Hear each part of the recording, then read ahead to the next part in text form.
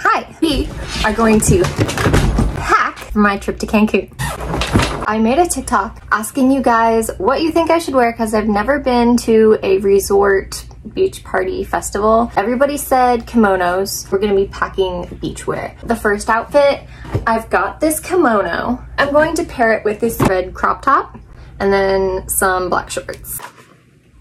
Mochi is obviously helping me pack. The second outfit, I'm thinking we're gonna go with some Abercrombie shorts, this bathing suit cover up top, and then I have this bathing suit and I'm gonna wear this underneath of this top. For my third outfit, we're gonna go with these shorts. I'm gonna wear this Free People bralette. That's going to go under this top.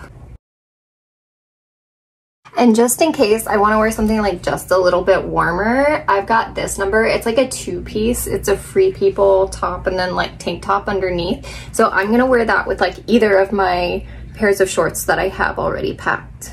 And then I absolutely love this outfit. I got it from a boutique in like Haleiwa, Hawaii. It's this like little peasant top and this peasant skirt. I have a rule that anytime I go anywhere, I always bring one clubbing dress because you never know if you might go somewhere nice or you might need like a cute little cocktail dress. So this is my like go-to, I call it my Vegas dress. And then my second rule is that anywhere I go, because I always get really cold like in the hotel rooms, I'm always gonna bring like a pair of sweats and then like a sweatshirt. And then my rule for socks and undergarments is you always bring one or two extra pairs with you than the amount of days that you're gonna stay. So I think I'm gonna bring like one piece of rave wear just in case I feel too normy.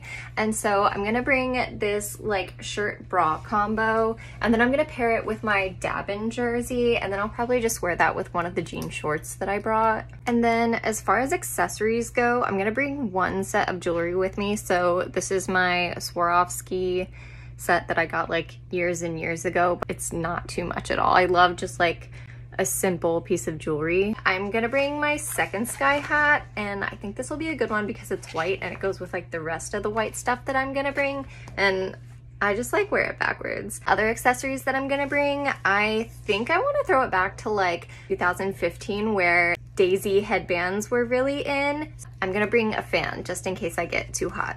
Another thing I always like to bring with me are my soft straps. I can't see far away, so I have to wear glasses. I like to have my soft straps so that they just keep my glasses on my face and like if they fall down, they stay on my body. I'll also be bringing my gloves, some batteries, and then an extra set of lights. And then I always like to bring my vibration pack and my fanny pack. For shoes, my dad always told me this rule, Wear your biggest shoes on the plane and then pack your smallest shoes. If you see me at Sun Soaked and Friends, make sure you come say hi to me because I'll be giving out these cute little candy bracelets. They have a QR code for my website. Thank you everybody for watching my packing video. If you wanna follow me so you can see more rave content, more festival content, and so you can kind of learn a little bit more about what you should bring with you to a festival, follow and give this video a favorite. I'll see you guys in Cancun at Sun Soaked and Friends.